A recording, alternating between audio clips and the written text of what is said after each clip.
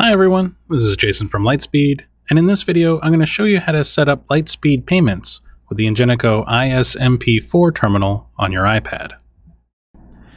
Assuming the terminal is sufficiently charged, you can power it on using the power switch on the upper right side of the terminal. After running through its boot up sequence, you'll need to connect the terminal to your Wi-Fi network. Open the communications settings by pressing the F key five times. Then, select Access Points, followed by New. The terminal will scan for available networks. Select the desired network and press the green Enter key. Confirm the desired security setting and enter the Wi-Fi password using multi-tap text entry.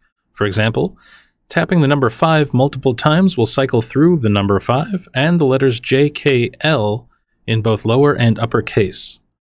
Punctuation marks can be cycled through by tapping the pound key. Once the password has been entered, press the green Enter key. The terminal should then advance to a screen showing the activation code. You'll use this code to pair your terminal with your account. Now that the terminal has been turned on, we are ready to configure your gateway and pair the terminal with the iPad. To do so, we will open the main menu, and we will enter the Retail Manager side of the app. From here, we will tap Settings, followed by Payment Processing. Now you will see the Lightspeed Payments banner indicating that your account is active and ready to process payments. Most of the configuration is done by Lightspeed, but there are a few preferences that you'll configure yourself, and to do so, tap Configure. I want to talk about the second half of the screen first, so I'll scroll down and we'll talk about security options. With Allow Credits turned off, you will be obligated to refund any card transactions back to the original card that was used to pay for that transaction.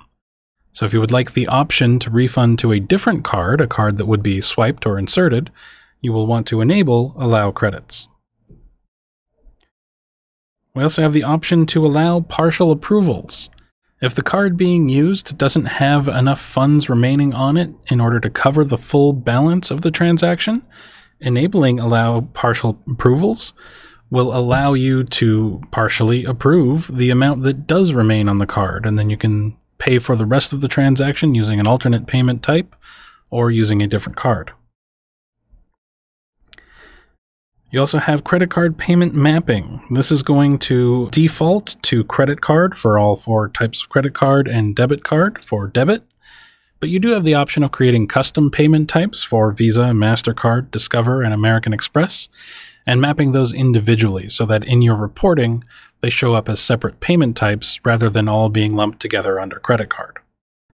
I'm going to leave those at their default values, and uh, we're going to pair the terminal. To do so, tap the main menu button followed by the credit card icon at the bottom of the menu. And that will take us to the payment terminal section of device settings, where we can find the add a payment terminal option. If you don't see this option and instead see a message about setting up a valid payment gateway first, simply log out of the app and log back in, and you should see the add a payment terminal option. Once you tap that option, you'll be asked to name the terminal. Again, this terminal can be called whatever you want, and I'm simply going to call it Terminal. Tap Next, and it will ask you for the activation code that should still be visible on the screen of the terminal itself. Terminal ID is entirely optional. Once you tap Next, you will see that the payment terminal is pairing. The screen on the terminal itself should advance past the activation code screen uh, to a triPOS logo screen and you should see the payment terminal has been paired successfully green checkmark on the iPad. Tap Done, and we are now ready to begin a test transaction to make sure that everything is working properly. Let's open the main menu. We'll leave the Retail Manager side of the app and start a new sale.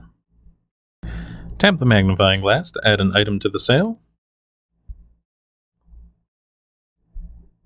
And then you can tap either the card or more payments option at the bottom. I'm going to tap card, and that will kick things over to the terminal, which will then provide instructions on how to proceed. Tap insert or swipe the card.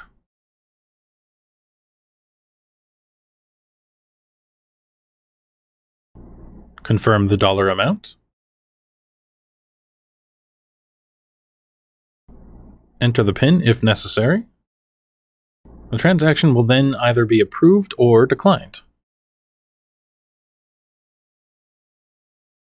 Once the terminal has approved the payment, that approval will be sent back to the iPad and we will see the payment successful notification in the app. Then simply tap Finish Sale.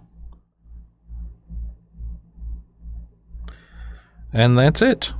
You have a fully functional terminal and you are ready to accept card payments. That concludes this video, and be sure to check out the Help Center for more information and videos.